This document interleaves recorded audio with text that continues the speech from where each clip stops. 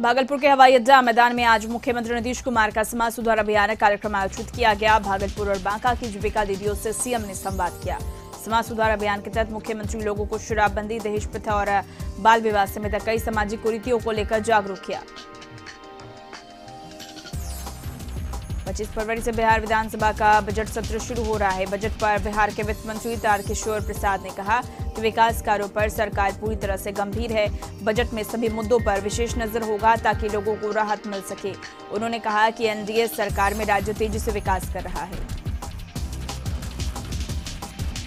Crusher plant में अपराधियों ने जमकर तांडव मचाया है। अपराधियों ने दो दर्जन मजदूरों की पिटाई की। एक पोकलेन मशीन को फूक डाला। कुडू के मकांदू की घटना। स्वामी सत्यानंद जयंती धूमधाम से मनाई गई। इस मौके पर स्वामी सत्यानंद के चाहने वाले लोगों ने एक मोटरसाइकिल रैली निकाली और पूरे शहर का भ्रमण कर उनके आदर्श को जन जन तक पहुँचाने का संकल्प लिया। मानव सेवा और समाज सेवा के लिए जाने वाली स्वामी विवेकानंद जी महाराज की जयंती को लेकर उनके चाहने वाले लोग शहर में कई जगह कार्यक्रम कर लोगों को बताए। उनके बताए हुए रास्ते पर चलने की सीख दी। समाज का विकास, परिवार का विकास और साथ ही राष्ट्र का विकास कैसे हो? स्वामी सत्यानंद जी महाराज का यह वचन लोगों तक कैसे पहुँचे, इस पर भी मंथन किया जा रहा है। बोकारो में कानेचू नर्सिंग होम के दूसरे वर्षगांठ पर बार बालाओं ने फूहर डांस किया। खूब ठुमके लगे बोकारो का पौष इलाका माने जाने वाला सेक्टर चार सिटी सेंटर में अवस्थित रक्षा हॉस्पिटल का दूसरी वर्षगांठ मनाने के उपलक्ष्य पर नाच गाने का आयोजन किया गया। जहाँ अस्पताल के बाहर परिसर में बार बालाओं द्वारा अश्लील डांस प्रस्तुत की गई, जहाँ बार बालाओं ने खूब ठुमके लगाए। वहीं अस्पताल के कर्मी और वहाँ मौजूद थे। अतिथियों ने भी अश्लील और फूहर डांस का खूब लुत्फ उठाया और बार बालाओं के ऊपर खूब नोट उड़ाए गए। आपको बता दें कि यहाँ पर सैकड़ों की संख्या में लोग मौजूद थे और डीजे की शोरगुल में मस्त होकर डांस का मज़ा ले रहे थे। टाटा स्टील द्वारा महिला क्रिकेट टूर्नामेंट का आयोजन किया गया। वैसे इस क्रिकेट में ग्रामीण क्षेत्र की युवती एवं महिलाएँ शामिल हुई। महिलाओं को खेल के प्रति जागरूक करने और महिलाओं को स्वावलंबी बनाने को लेकर टाटा स्टील लगातार प्रयास कर रही है। Tata steel rural development society Saraikela Jamshedpur और चाईबासा के विभिन्न ग्रामीण क्षेत्रों में कई कार्यक्रम का आयोजन कर महिलाओं को उनके मनोबल को बढ़ा रही है। वैसे महिला क्रिकेट टूर्नामेंट गोपाल मैदान में आयोजित किया गया। उधर क्रिकेट टूर्नामेंट में अव्वल आए टीम और खिलाड़ियों को टाटा स्टील की तरफ़ से नगद पुरस्कार और ट्रॉफी दिया जाएगा। मुख्यमंत्री नीतीश कुमार का समाज सुधार अभियान के दौरान भागलपुर पहुँचने पर उनके खिलाफ प्रदर्शन करने वाले तीन छात्र नेताओं को पुलिस ने हिरासत में ले लिया है। दरअसल छात्र संगठन आयसा के कार्यकर्ता तिलका मांझी भागलपुर विश्वविद्यालय में स्थायी कुलपति की मांग को लेकर छात्र नेता सौरभ कुमार के नेतृत्व में विरोध प्रदर्शन करने के लिए तिलका मांझी चौक पहुँचे। इस दौरान मुख्यमंत्री की सुरक्षा में तिलका मांझी चौक पर तैनात सिटी एसपी स्वर्ण प्रभात ने पुलिस बल की सहायता से प्रदर्शन कर। रहे तीनों छात्रों को अपनी हिरासत में ले लिया। शहर की महिलाओं ने टिल्को रूट पर बस चालू करने की मांग को लेकर उपायुक्त से मुलाकात की और उपायुक्त से अविलंब टिल्को और बॉडीगोरा रूट पर बस का परिचालन शुरू करने की सिफारिश की है।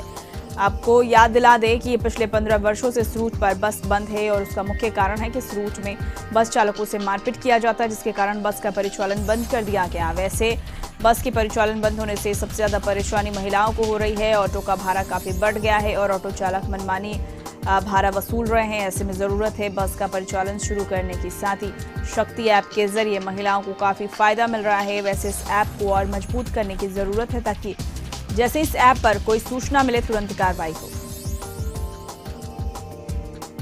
साहिबगंज से बड़ी खबर आ रही है, जहाँ सड़क हादसे में सात लोग गंभीर रूप से घायल हो गए। हादसे में घायल तीन लोगों की हालत नाजुक बताई जा रही है।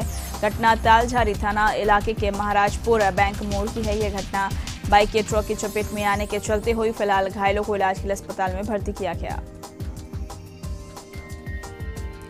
झारखंड के राज्यपाल रमेश बैस ने केंद्रीय गृह मंत्रालय को रिपोर्ट भेजा। इस रिपोर्ट में राज्य में भाषा विवाद मॉब लिंचिंग नक्सली घटना से विधि व्यवस्था प्रभावित होने की संभावना जताई गई है। राज्यपाल ने रिपोर्ट में यह भी लिखा है कि आगामी बजट सत्र और पंचायत चुनाव में इन मुद्दों को लेकर राज्य की विधि व्यवस्था प्रभावित हो सकती है। केंद्रीय गृह मंत्रालय ने राज्यपाल से हाल के दिनों में झारखंड के विभिन्न मुद्दे पर उठे विवाद और हंगामे के संबंध में विस्तृत रिपोर्ट मांगी थी। वहीं राज्यपाल के इस रिपोर्ट के बाद राज्य की राजनीति गर्मा गई है।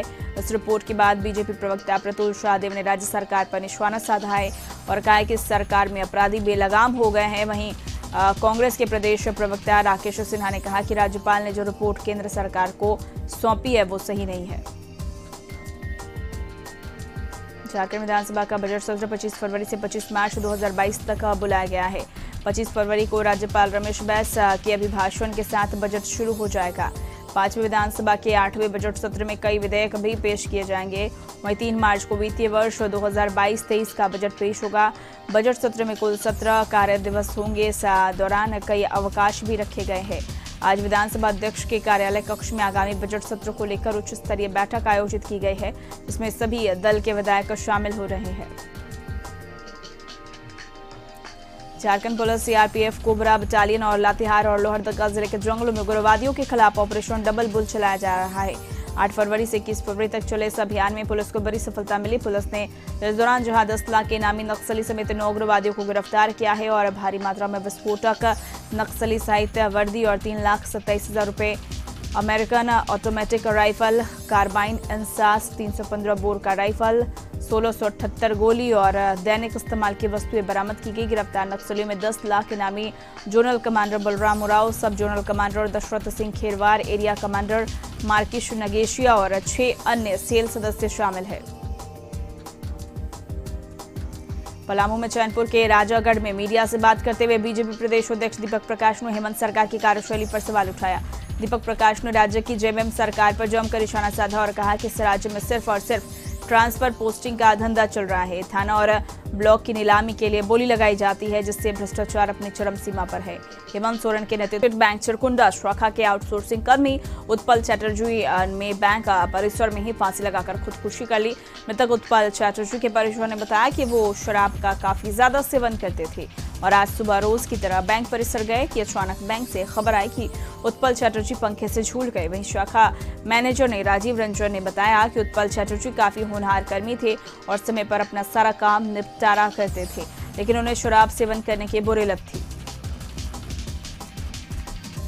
गढ़ ज़िले के मधुबन में कांग्रेस के चल रहे तीन दिवसीय चिंतन शिविर का आज अंतिम दिन है। पार्टी सूत्रों के मुताबिक चिंतन शिविर के आज तीसरे और अंतिम दिन पार्टी नेता राहुल गांधी भी हिस्सा ले सकते हैं। बताया जा रहा है कि वो वर्चुअल तकनीक की मदद से चिंतन शिविर में हिस्सा लेंगे। राहुल गांधी के साथ जयराम रमेश भी चिंतन शिविर में शामिल हो सकते हैं। इससे पहले शिविर के दूसरे दिन केंद्र सरकार की गलत नीतियों के विरुद्ध संघर्ष और झारखंड सरकार के लिए कॉमन मिनिमम प्रोग्राम समेत कई बिंदुओं पर चर्चा की गई। झारखंड प्रभारी अविनाश पांडे ने बताया कि कांग्रेस कार्यकर्ताओं का मान सम्मान से कोई समझौता नहीं होगा। तीन दिन का झारखंड प्रदेश कांग्रेस कमेटी का चिंतन शिविर है। पाँच सत्र पूरे हुए हैं, जिसमें बुद्धिजीवी और पार्टी के वरिष्ठ नेताओं ने अलग अलग विषयों पर अपने विचार रखे। इसके अलावा झारखंड प्रदेश कांग्रेस अध्यक्ष राजेश ठाकुर ने बताया कि आज शिविर के दूसरे दिन पार्टी के वरिष्ठ नेताओं ने कांग्रेस के संघर्ष पर प्रकाश डाला। इस मौके पर संसदीय कार्य मंत्री आलमगीर आलम ने कहा कि शिविर के माध्यम से कांग्रेस की अतीत से नेताओं को रूबरू कराया गया। इस शिविर में कार्यकर्ताओं में जोश आया है। वहीं वित्त मंत्री रामेश्वर राव ने कहा कि डीजल पेट्रोल का दाम केंद्र सरकार जल्द से जल्द घटाए। विधायक सरयू राय, निजी कार्यालय में हिस्सा लेने बेरमो पहुँचे। इस दौरान पत्रकारों से बातचीत में उन्होंने कहा कि भाषा को संवाद के बदले विवाद का माध्यम बना दिया गया है। सरकार ने दबाव में आकर भोजपुरी मगही अंगिका भाषा को क्षेत्रीय भाषा की सूची से हटा लिया है। भाषा विवाद को दूर करने के लिए वो मुख्यमंत्री से मिलकर बात करेंगे। उन्होंने कहा कि राज्य में कोयला चोरी धड़ल्ले से चल रहा है और कोयला चोरी एक संगठित गिरोह की तरफ़ से करवाया जा रहा है। इससे पहले झारखंड प्रदेश कांग्रेस नेताओं ने एआईसीसी के राष्ट्रीय महासचिव सह प्रदेश प्रभारी अविनाश पांडे, प्रदेश अध्यक्ष राजेश ठाकुर, कैबिनेट मंत्री मना गुप्ता समेत कई लोगों ने जैन धर्म के पावन तीर्थस्थल गुनायतन में जाकर संत शिरोमणि आचार्य विद्यासागर जी महाराज के परम प्रभावक शिष्य शंका समाधान प्रणेता मुनि सागर महाराज जी का दर्शन किया और उनका आशीर्वाद लिया। इस दौरान महाराजा जी ने कांग्रेस नेताओं से कहा कि राजा और देश के विकास और मानव कल्याण के लिए सभी लोग मिलकर काम करें। अभी तक राज्यवासियों का वादों के मुताबिक विकास संभव नहीं हो पाया है। इस दिशा में ध्यान देने की ज़रूरत है। साथ ही महाराजू ने जैन धर्म के पावन तीर्थ स्थल समय शिखर के विकास के लिए राज्य सरकार की ओर से सहयोग करवाने का आग्रह किया। मुख्यमंत्री हेमंत सोरेन के दो दिनों के साहिबगंज दौरे का आज दूसरा दिन है। आज वे सीएम अपने विधानसभा इलाकों में आम लोगों के साथ मुलाकात करेंगे और पार्टी कार्यकर्ताओं से भी मिलेंगे। इससे पहले अपने दौरे के पहले दिन सीएम हेमंत सोरेन ज़िले के पतना अंचल के तालबरिया स्थित फुटबॉल मैदान में हेलीपैड पर हेलीकॉप्टर से पहुँचे और मुख्यमंत्री को गौरव ऑनर दिया गया। इसके बाद वहाँ से वे सड़क मार्ग से अपने आवास पर गए। जहाँ पार्टी कार्यकर्ताओं और अधिकारियों से मुलाकात की और विकास योजनाओं का जायजा लिया।